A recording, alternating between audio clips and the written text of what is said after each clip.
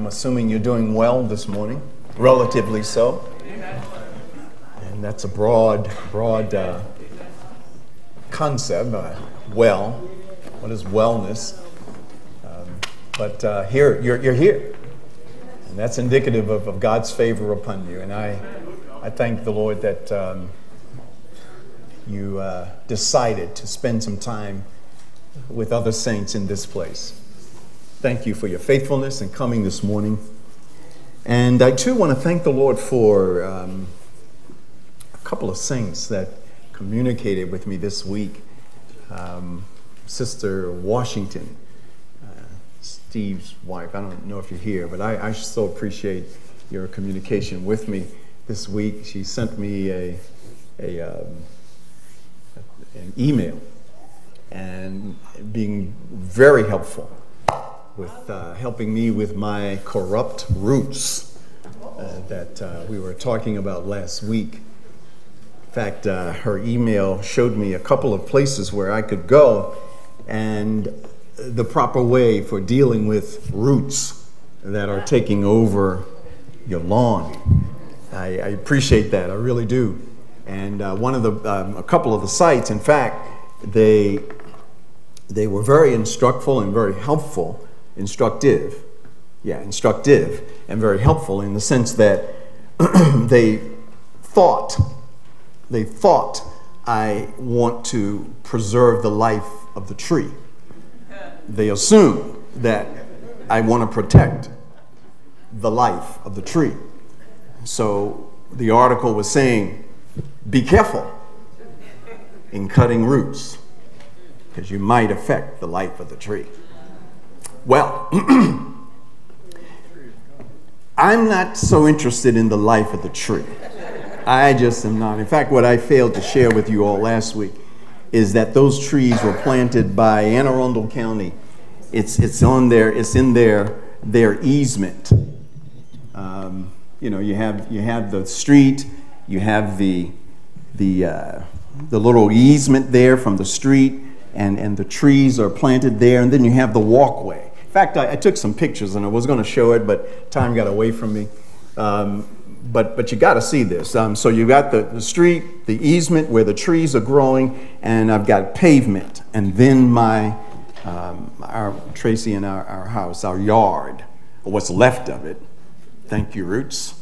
Um, what's left of it, and the trees. I called Anne Arundel County because the tree roots were pushing up the cement slab. Amen. And I called, and they sent out some, I guess every bit, three trucks, and had to be about eight men. And they took up the cement slab, the broken slab, and they relayed new cement slab. And when they were done, I said to them, What are you going to do about the root?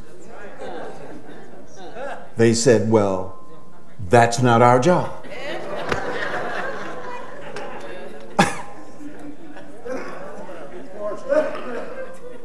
I don't know, folks. Maybe it's me. but if you call the county and you're complaining about the roots, you expect that they will come out and take care of the roots. Not the case. So I guess it's about a year later, and here we are now. And those roots are pushing up the cement slab all over again. I called, and this time they sent out three trucks, about eight men, and this time, rather than replace the whole cement slab, they just patched it with black tar. They were concerned about a tripping hazard. They don't want people to trip over the cement slab that's raised up from the ground. So we'll just put black tar over there and fill in the.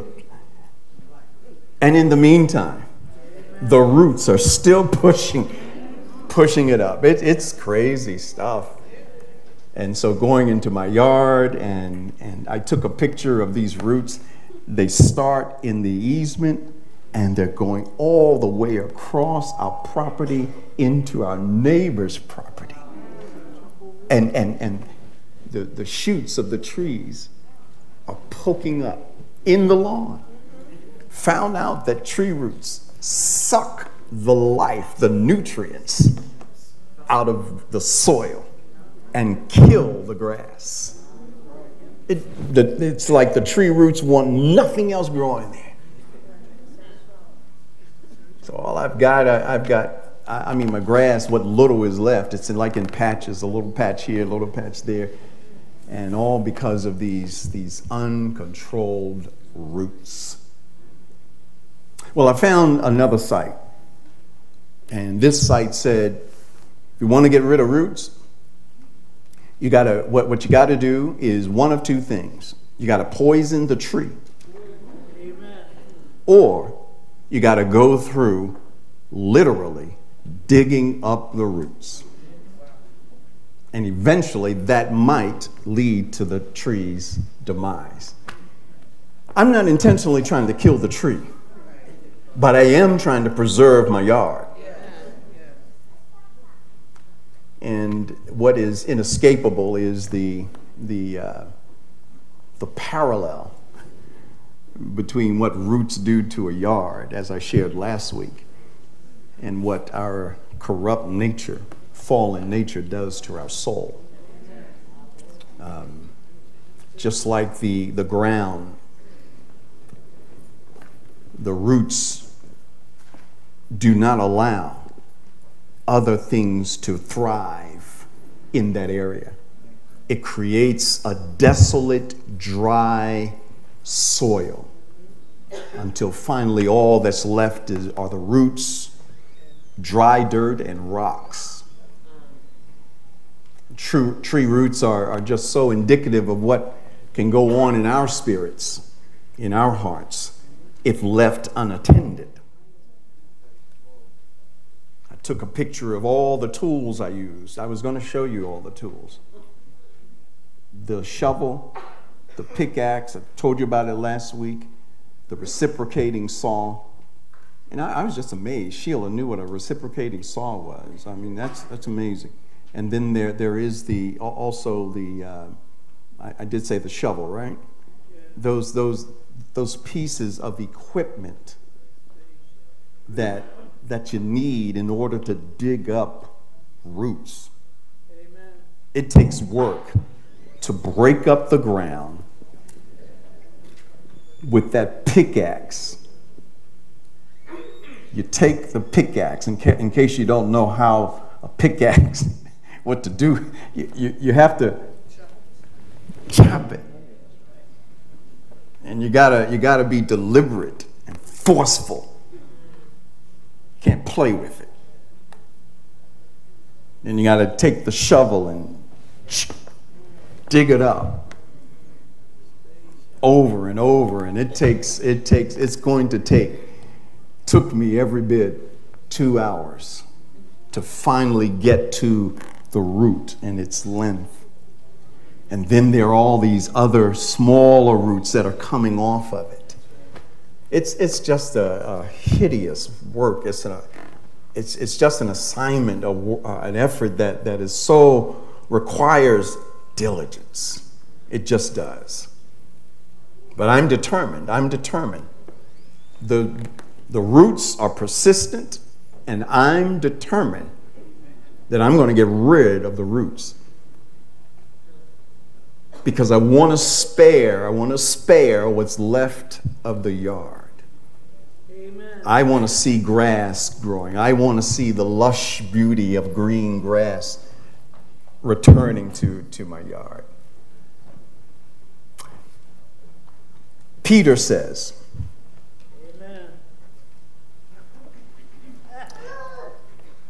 that we have been given exceedingly great and precious promises, that through these you may be partakers of the divine nature as you're escaping the corruption that is in the world through lust. The same can be said for corruption that's in us in terms of what it requires to develop, as Peter says, giving all diligence, add to your faith virtue. How do you do this? How do you add virtue to your faith in old, crusty, rock filled, hard hearted soil? How do you do that? I, I like what uh, I'm going to ask you to turn there. In fact, look with me at uh, Jeremiah. Look at Jeremiah. I think Jeremiah has the secret for us. Some of you are perhaps uh, wondering, and as I, I'm wondering, I want to let you know the same that I, I'm wondering. I, I had no plans of spending. In fact, you know what? We've been talking about the virtue of God, the being partakers of the divine nature. We've been talking about God's virtues since March of this month. Did you know that? Did you know that? And here we are today. Oh, what's up, Pastor Gaines? Don't you have anything else to preach about? Doesn't the Bible talk about anything else? It's curious. What is it? What is it that, that brings us back? And I would suggest to you that it takes this kind of deliberate effort on our part, exposing our hearts to the teaching of the Word of God.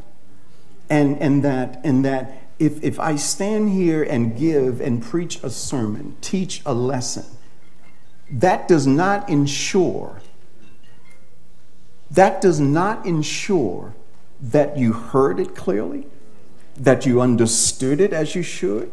It does not ensure that you know how to actually put it into, into practice. What does it take? It takes, it takes time.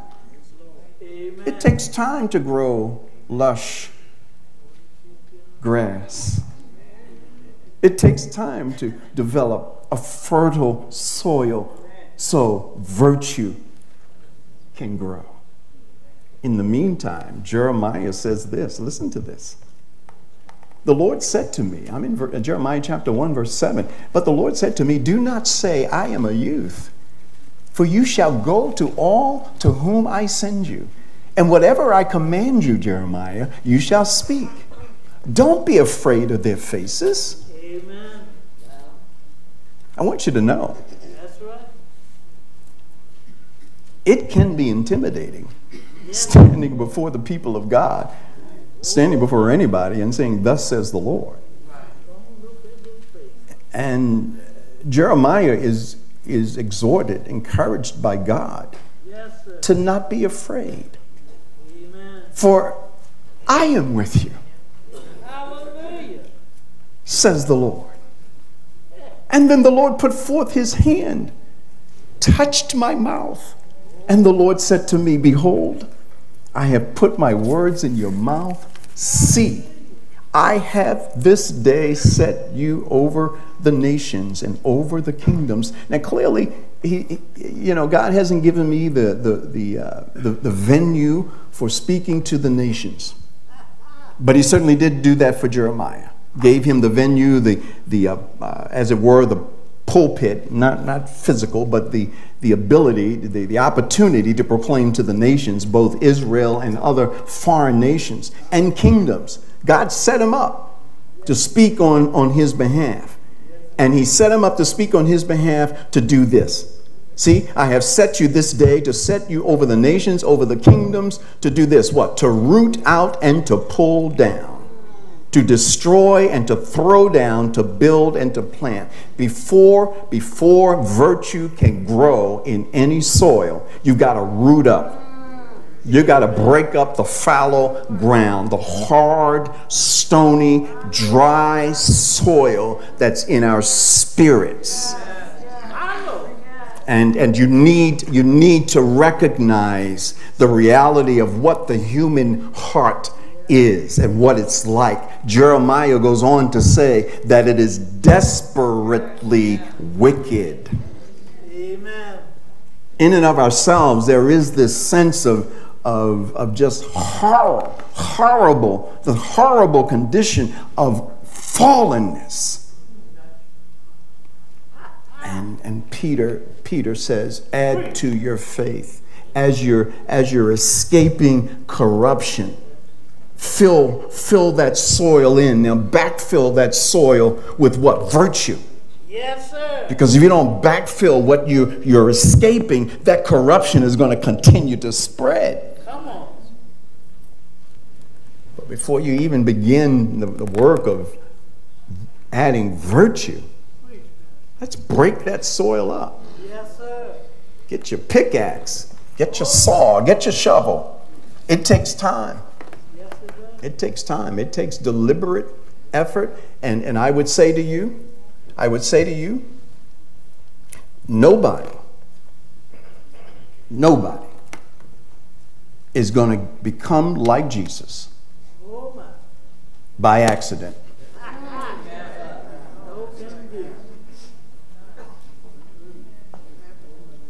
Driving, I was driving down the street, and I guess I just got lucky. I decided, wow, look, I'm like Jesus. Doesn't happen like that. It doesn't happen by accident. It doesn't happen by circ. It's not because you're lucky.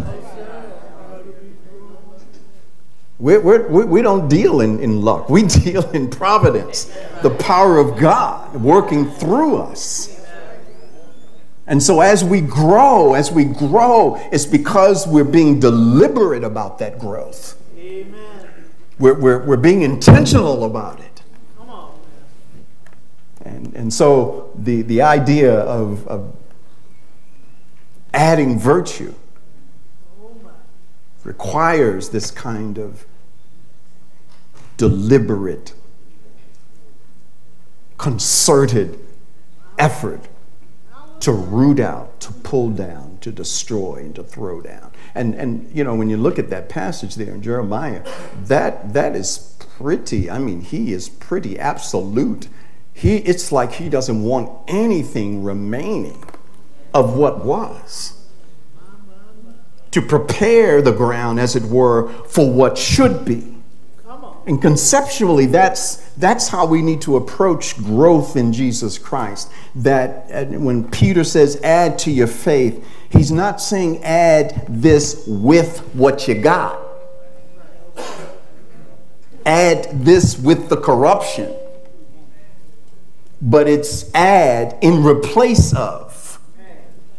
You're, we're escaping corruption, Peter says. Now be diligent to add Yes, sir. in place of. In fact, here in um, 2 Peter um, 5, um, he says, But also for this very reason, giving all diligence, Yes, sir. add to your faith. Add to your faith. This word, this word, uh, diligence, adding diligence, adding to your faith, giving all diligence. That word, you don't need to know the Greek word that Peter um, used, but I want you to know it's the same word that Luke used in Luke 19. Go with me there to Luke. And what are we talking about? We're talking about adding to our faith virtue. And I just want you to see what it looks like. What does diligence look like? I mean, if you have, if you, if you, if you need a visual, Luke provides for us a visual for what diligence looks like. Diligence looks like this in Luke 19. Then Jesus entered and passed through Jericho. Now behold, there was a man named Zacchaeus who was a chief tax collector, and he was rich. And he sought to see who Jesus was, but could not because of the crowd, for he was of short stature. So he ran ahead, climbed up into a sycamore tree. I wonder if it had roots. He climbed up into a sycamore tree to see him, to see Jesus. for he was going to pass that way. Now, now he has already demonstrated diligence.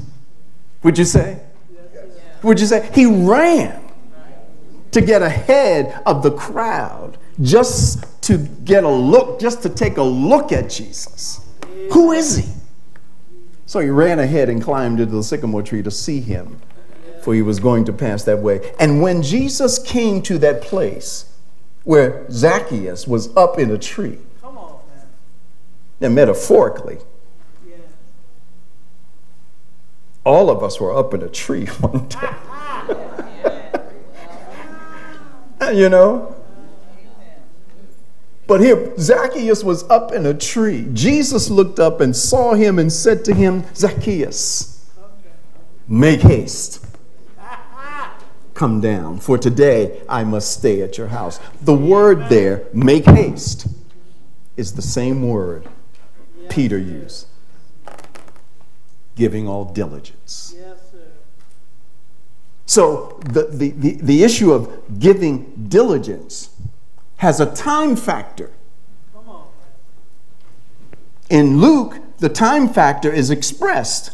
What? Make haste. What? Hurry up and do this. Look at verse 6. So he made haste. See, that's, that's a time factor. That re- reflects on, on the issue. I tell you what he didn't do. Hey. Come on. He didn't say, Give me a minute, Jesus. I'll be, I'll be right with you. He didn't say, Well, Jesus, uh, you, you know what? I, I, I've got to I've got to go to work, um, you know? And no. Now, here he's a rich man.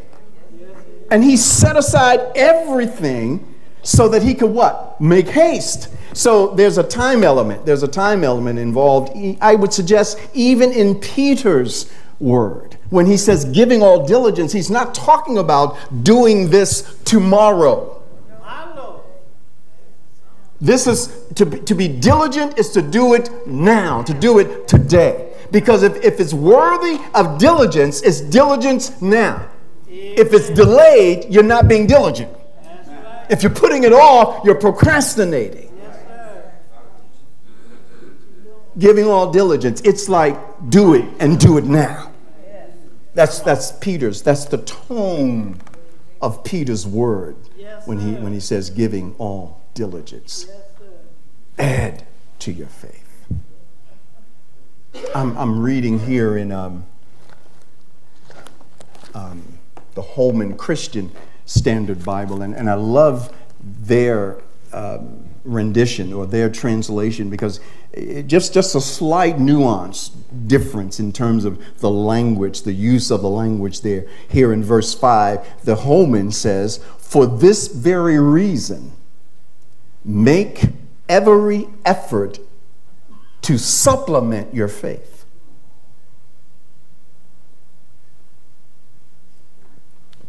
In verse 10, he says, Therefore, brothers, make every effort to confirm your calling and election. Now, this is the Holman Christian. And then he uses the word again in verse 15. And Peter says of himself, I will also make every effort that you may be able to recall these things at any time after my departure. In Peter's mind, here he's getting ready to die. He's in prison, getting ready to die, and he's not postponing this, this issue, this information they need, and they need it now. He says, I'm, I'm making every effort to make sure and to remind you of these things before I die. He did not postpone it. It's like, I'm going to do it, and I'm going to do it now. And he says, make every effort, every effort, every effort to supplement your faith.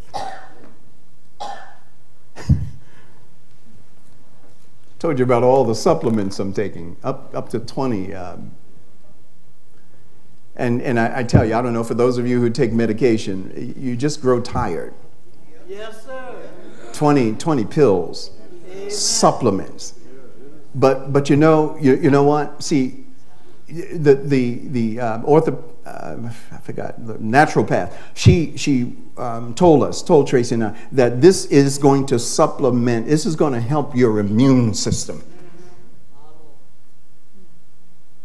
Because your body, as you grow older, your body is not producing the level of nutrients that your body needs to, to sustain the, the effectiveness of your immune system. Because, the food we eat, some, it's, it's a lot of it's deprived of the, the levels of nutrients that we need. Frozen foods, don't, not to even mention fast food has no, virtually no nutrients that are going to help your immune. So you need what? Supplementation. You need something along with what you're eating. Peter says you need, you need to supplement your faith. I know you got faith, but now you need to add something to help the immune, the immune process of keeping what? That, that corruption away. Strengthen your, your spiritual immune system by what? By, by adding to your faith. And you can, you can be sloppy about this thing and lazy about this thing if you want. But you know what? I, I realize this that, you, you know, if God, if God wants to heal me, you know, I can sit there and sit on myself and say, you know what, God, I'm waiting for you to heal me. I don't need, I don't need those supplements. Heal me, Jesus. Dave, take the supplements. What God wants to what? Use the supplements to heal me. Why, why, why should I just wait? Wait for some some supernatural move. Now he can do what he wants. I know that. But he gave me wisdom enough to know that I need to take care of this vessel, this body now, because I could see if I, if I didn't have um, the, the ability, if I didn't have all, all, that I need, if I didn't have access to it. But when we have access, when we have the knowledge, when we have the ability, why sit around and wait for a supernatural move of God? No, we, we need to take every, make every effort. And by the way, by the way, do it the same time every morning. Be consistent. Be consistent. You, I mean, if you if you're going to supplement your faith, you got you got to be consistent with this thing. Take it today, skip tomorrow. Take part of it today, use this in, in place of it. I, it, it. It just takes diligence, it takes consistency to really add to our faith. This, this idea, this idea of adding to our faith in Peter's thinking is, is a time factor. Time is wrapped up in this. And for this very reason, give all diligence, add to your faith. The work of grace requires our complete total participation with the Holy Spirit in developing virtue as a partaker of his divine nature. He's not going to do it without you. It's just not going to happen. And so if you don't pray, it ain't happening. If you're not accessing, if you're not accessing supplement, if you're not accessing the, the teaching of the Word of God, it's not going to happen. And, and let, can, I, can I say this? Come on. You and I are not going to develop virtue on Sunday morning.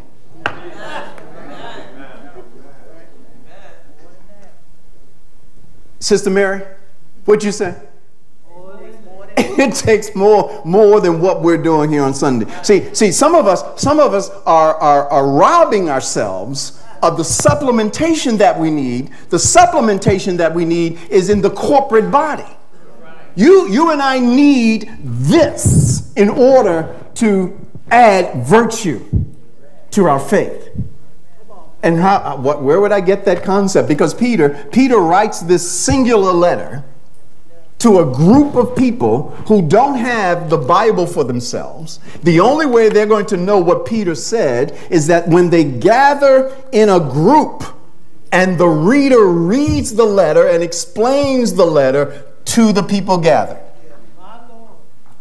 the, the reader, the, the pastor would copy the letter and send it to the next house or the next pastor. They would gather, they would read. It's, it's intended, it's embedded in the text. What? Corporate life, life together in Jesus Christ.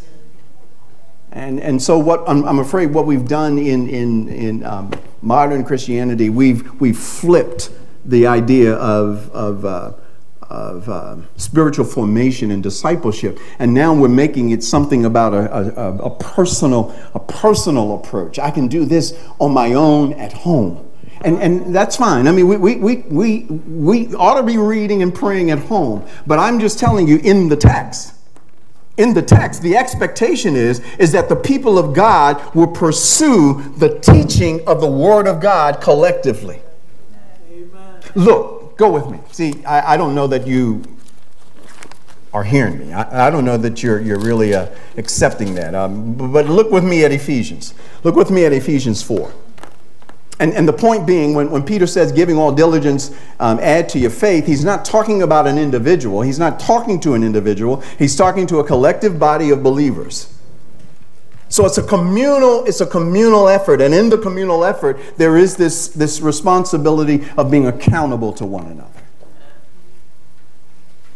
This week, we spent a, a week in prayer. And I thank God. I thank God for those precious saints that, that came out this week. Some came out every night, every night. And I know they were tired. I know they were physically tired. But they deliberately made, made every effort to diligently pursue prayer, corporate prayer. And, and, and why? Because that's what the scripture, it's embedded in the scripture that we, we God, God uses these graces in a corporate, at a corporate level to strengthen us and develop us. Look at Ephesians. Look at Ephesians chapter 4. Eh, are you there in Ephesians? Yes. And he, personally, Jesus, gave some to be apostles. He gave some prophets and some evangelists and some pastor teachers. That's, that's essentially the New Testament church that, that uh, the New Testament church now is essentially being led by pastor teachers. There aren't any more apostles. I said there aren't any more apostles. And, and you know, I mean, if they personally want to call themselves, that, that's fine. But as far as heaven is concerned, there were only 12. And their names are going to be in, on, on, on the, uh, the, the gates of the New Jerusalem. So there are 12 apostles, and, and in terms of prophets, prophets, God, God um, in, indeed, this, this prophetic, this prophetic office has been, has been enmeshed and, and immersed into the pastoral office that of proclaiming what God is going to do. Pastors also proclaim what God has said. So it's this pastoral role of, of teaching. Look at this pastor teacher. And what are pastor teachers for? To train the saints. You can't train yourself. Now, I'm, I'm, just, I'm just trying to help you here. that the, the onus and the responsibility for diligently pursuing the graces that will alter and transform and develop us spiritually forming us into the image of Jesus Christ will happen in, in, in corporate life, primarily. Teach and train the saints so that they can do the work of the ministry. Amen. In doing so, they will build up the body of Christ. At our uh, leadership meeting yesterday, the, we asked the question Are we a healthy church? using these metrics in, in this section of Scripture, we concluded, we concluded that manna is not spiritually healthy. And, and like every doctor and like every patient, patients don't want to hear that. I didn't go, I didn't go to Dr. T to hear her say, You've got cancer. But I went to her to assess my condition tell me what's going on in my body. And no, I was not, was not, when, when Dr. David Goldstein first uh, came up with it, he said, You've got cancer. I didn't go to him for that. I just went for a regular routine checkup. Hey, doc, what you doing? What's happened? Well, Dave, you've got cancer. I didn't go for that. But and, and the news, the news was startling. And, and beloved, beloved, as, as God examines us and evaluates us, we, we, we need to understand that we're not healthy. Amen. How do, we, how do we know that we're not healthy? The text says, until we all come into the unity of the faith, in the knowledge of the Son of God, growing into mature men and women. How? Measured by the statue of Jesus Christ. So it's like it's, it's measuring ourselves by Jesus. So that we're no longer children tossed about with waves, with the waves and blown around every wind of teaching. See, I, I, I know we're not spiritually uh, uh, healthy because we, we don't like sitting down and, and being taught the Word of God generally speaking, most of us. And I say most of us because it's the minority, it's the minority who are accessing the, the, the, the blessed graces of, of, of nurturing and, and spiritual formation. But, but, but the larger body of manna, they're, they're just not after that. I know this is not what you want. You didn't come to hear that today. But you need to hear it. You need, you need to hear you need to hear the expectation of what God has for you spiritually. And, and, and, and if you, you go on thinking that I'm okay, I'm okay, meanwhile, those roots, those corrupt roots, are still eating away at the lush soil of God's heritage. Amen. What he wants, what he wants is, is, is um, be- be- believers to access what? To, to be diligent in our pursuit. He, he goes on, and how, how else do we, we know we're, we're, not, we're not healthy? But here in Ephesians, he says, Look, we- we're speaking the truth in love. Let us grow up in every way into him who is the head, even Christ. Grow up spiritually. Grow up. How, how do we know? You, you know what? You know what? One of the, one of the um, I think it was um, it was uh, Timothy Keller, his book on prayer, made a stunning uh, statement um, that, that we read this week about prayer and how essential it is. And, and the, the, the nature of corporate prayer, how essential it is. He said, it's desperate people who pray. People who are not desperate don't pray. And you might ask yourself, I think it begs the question then why aren't people desperate? You know why we're not desperate? Because we have our lives filled with everything else. We don't need God. We got this, that, this, and that.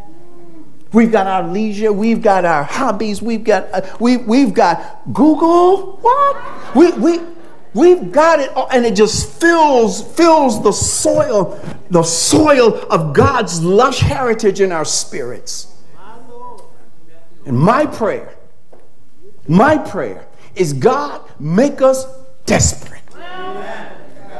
Break up this this cold-hearted heart, stony heart that keeps resisting what you want to do in our lives. Take away this and that. Move stuff around, shuffle it around, and make the people of God uneasy. And do whatever it takes, but bring us to our knees. Make us desperate for you. How you gonna be? How are we gonna be desperate? How are you doing today? I'm good. No, we're not. The Bible says here in Ephesians 4 from him the whole body, this is Christ. Christ says that the text says, Him, the whole body of Christ, is what fitted and knit together.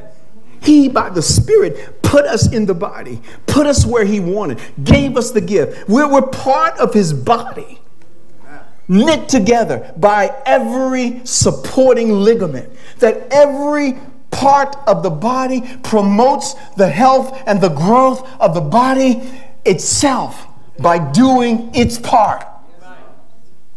How do I know we're not healthy? Because saints aren't doing their part. If it weren't for the minority, man praying on our knees, if it weren't for the minority gathering together in prayer, I'm not so sure that manna would even be here. I suspect that we'd have to close the doors if we had to depend on, on saints who are not doing their part. It's the few who are, who are, who are bearing the load of the many.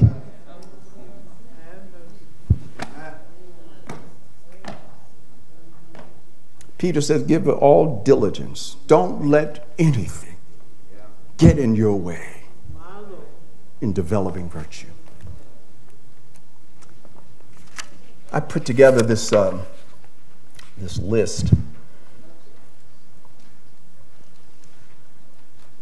You, you have that, right? Put together this list, and all I did, all I did in, in, in Scripture all I did is went to scripture, went to passages. I guess I should have put the passages there. But I went to the passages of scripture because what I was looking for was when, when Peter says, add to your faith virtue, what is he talking about? He's talking about moral excellence. Well, what is moral excellence? Virtue generally means it's the highest standard of moral excellence, which, excellence, which is ultimately an expression of God's divine nature.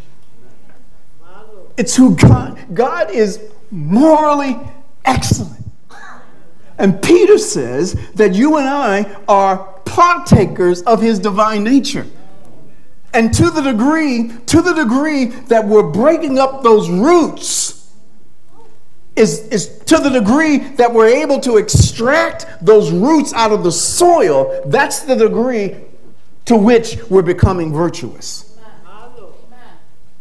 But you can't get virtuous when you, when you got when you're hooked up and rooted up and with all this other stuff. So I, I went through scripture and just looking for virtue, moral excellence, and, and you, you've got the list here. But ponder with me, ponder with me. Um, humility and meekness. Now, th- this, this, is, this is the divine nature. God's, God's nature. What? God is a humble God. Did you know that? God, God came down. The, the, the sending of his son, when his son, when God the Son came down, that's humility. That God even speaks to sinners is humility. That he even that he even cares is humility. A holy God has every right to just wipe us out.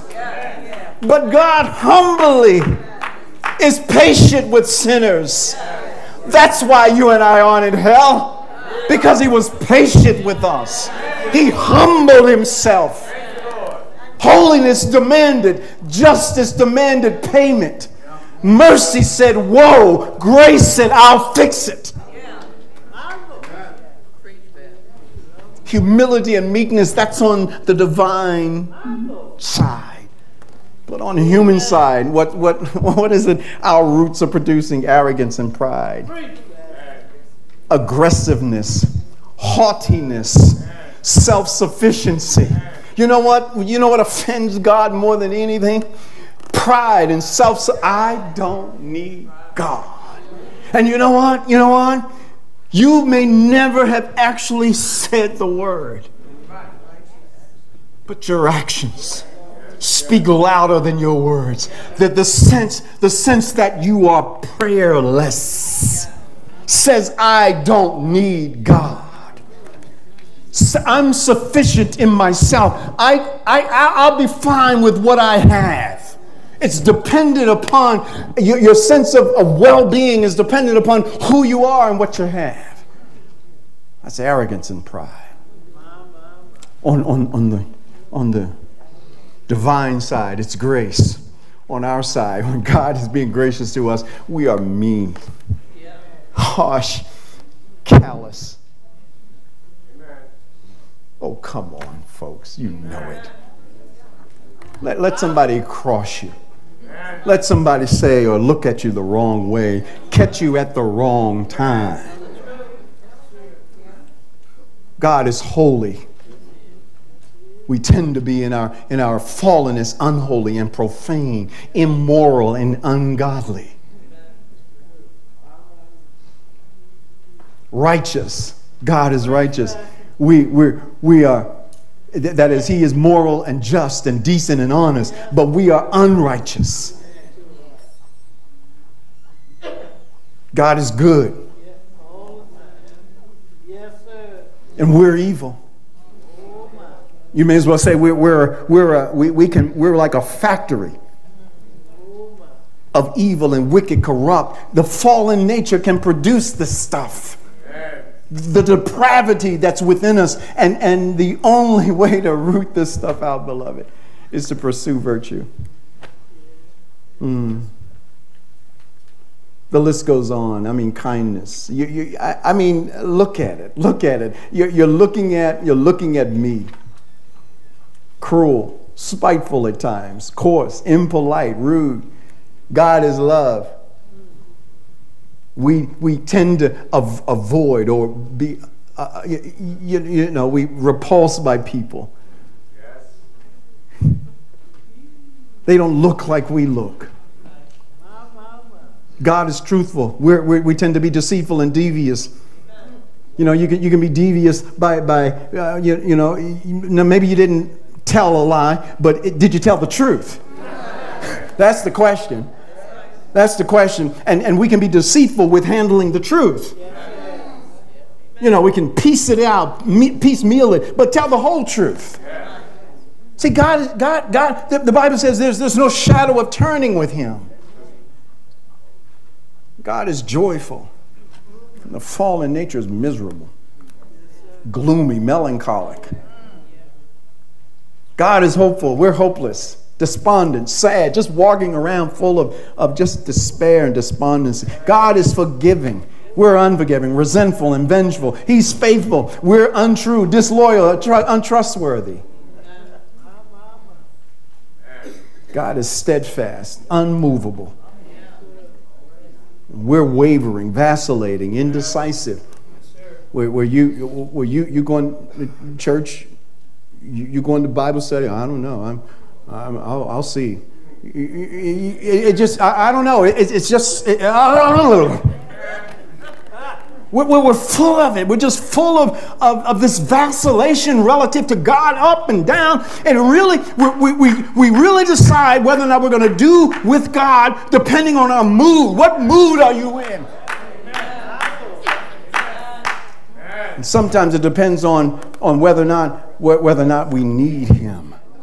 And we use Him. We try to use Him like He's a bellboy when, when things are going well, he doesn't even hear from us. But, but when things are going bad and sour, you get sick, you get cancer, you're calling on the name of, well, where were you in times of joy?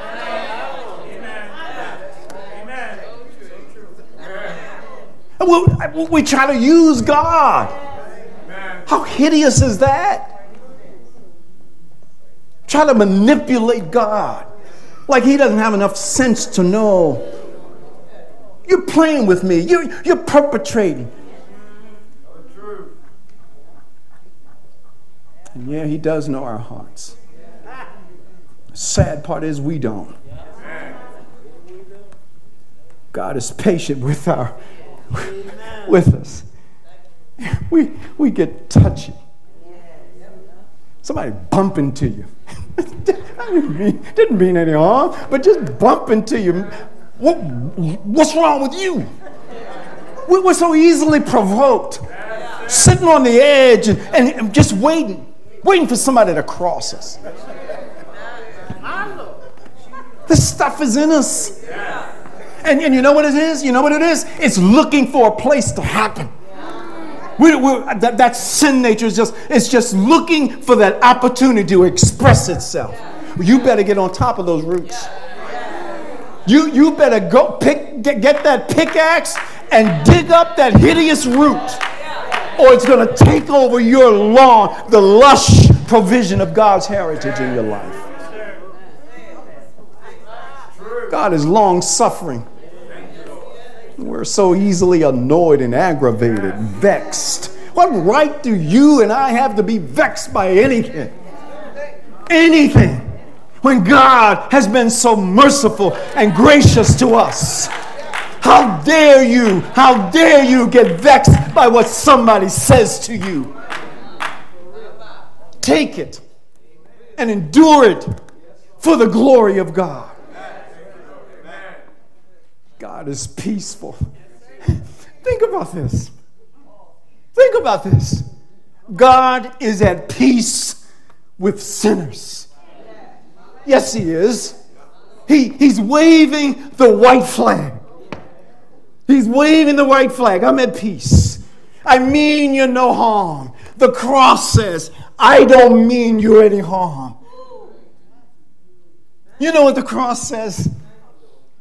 The cross said God is trying to save us from God. He's trying to save us from God's wrath. Today he is peaceful. Today he is long suffering. Today he will put up, he's tolerant and patient. But the day is coming when he will judge in righteousness. God has such self control. Such self control. you find this expressed in, in the Old Testament, where the anger and the wrath of God, He allowed, He allowed Abra, Abraham to bargain with Him. Yes, he did. I'm, he told Abraham, I'm going to wipe them out. Amen. And God, in, in, in His mercy and grace, He controlled Himself. He allowed Abraham to mitigate, to mitigate his, his wrath, Yes, he did. and finally to get down to 10 people. He's, he's self controlled. We're excessive and decadent and immoderate. We, we, just, we just let it all hang out. There are times where it just flows. What comes up comes out. And then we got then we got the, the nerve to say, what? Well, I'm, I'm just speaking the truth in love. No, no, you're, you're trying to hurt. You're trying to hurt. Yeah. God is peaceful and we're confrontational, petulant, sulky, grumpy. I'm, I'm just talking about what's in, all right, maybe not you. Maybe not you. But I'm, I'm just talking about you, the, the kind of roots that, that I'm trying to dig up in, in the soil of my, my own spirit. Grumpy. And, and, and, and, then, and then sometimes I find myself giving, giving off a little plastic smile, For, forcing, forcing, forcing out a praise the Lord. And I praise the Lord, I don't even mean it. Are you serious? using the name of God in vain. What do you mean, praise the Lord? Through your grumpiness?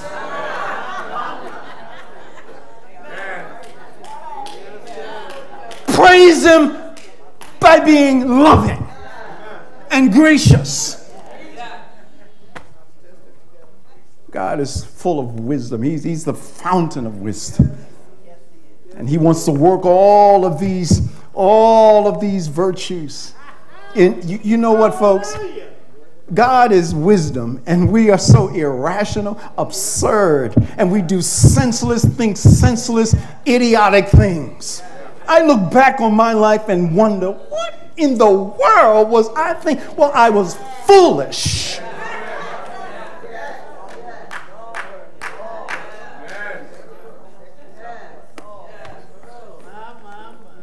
I'm looking at all this good night in the morning. My dad would say, all of this virtue. And, and I'm humbled, I'm humbled before him. Every day, every moment because, because of the, the, the deadly corrupt roots that, that permeate, that, that, that kind of ooze out unexpectedly. Could be reading the Word of God, and out of nowhere, out of nowhere, a corrupt, vile thought comes to mind. What is that? It's just, just telling me that, you know what, I, have got a lot of work to do. And, and, and I, I can't put this thing off. I, I, God knows, I cannot put this thing off. I cannot because, because, because if I put it off, the, the, the roots are going to continue to spread going to continue to spread and they're going to pop up with these new sprouts. And I'm one, and guess what? Some, I, have I've got a little, a little uh, a, a flower bed there. And even in the flower bed, the root, the root from the tree is growing in the flower bed. I remember one day when I was watering, watering it. It's a, it's a corrupt root, but I'm feeding it with water because of my ignorance. Didn't recognize, man, that's a weed, that's a root. You don't water roots and weeds. You got to dig that stuff up. But, but if we're not exposing ourselves to virtue, we, we, we don't understand what it looks like, and we wind up spending time valuing roots and weeds. Oh, look at this precious little weed.